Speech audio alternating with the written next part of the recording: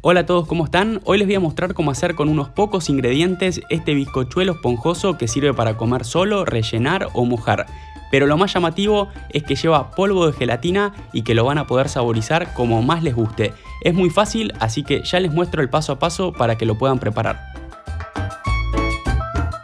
En un recipiente vamos a agregar 3 huevos con una taza de azúcar y vamos a batir hasta desintegrarla. Esto lo pueden hacer a mano o con batidora, pero a mano es muy fácil y no requiere de demasiado esfuerzo. Acá tengo un sobre de gelatina de frutilla de 40 gramos, pero se puede usar el sabor que más les guste. Se lo voy a agregar en forma de lluvia a 250 mililitros de leche caliente y voy a batir para diluir.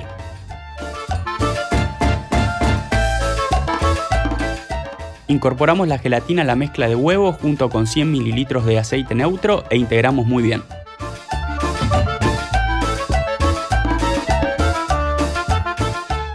Por otro lado voy a sumar en dos veces dos tazas de harina leudante tamizada o la misma cantidad de harina común con dos cucharaditas de polvo para hornear. Una parte integramos bien y después la otra hasta lograr una mezcla homogénea.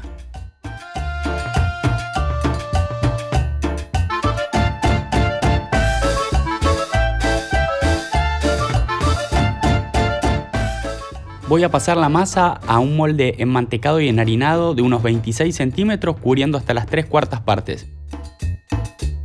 Y ahora lo voy a llevar a cocinar a un horno precalentado en 180 grados durante unos 45 minutos o hasta que inserten un palito y salga seco. Y acá ya quedó listo nuestro bizcochuelo con gelatina, acuérdense que el sabor de la gelatina es a su gusto, pero me pareció una muy buena idea porque al menos acá en Argentina no hay cajitas de bizcochuelos de muchos sabores y de esta forma van a poder preparar una torta original y salir de la vainilla y chocolate típicos. Queda súper esponjoso y riquísimo, así que espero les haya gustado esta propuesta. Si es así, ojalá me apoyen dejándome un like, compartiendo el video y si quieren suscribiéndose al canal para seguir creciendo y haciendo más recetas. Les dejo un saludo y nos vemos en la próxima. Chao.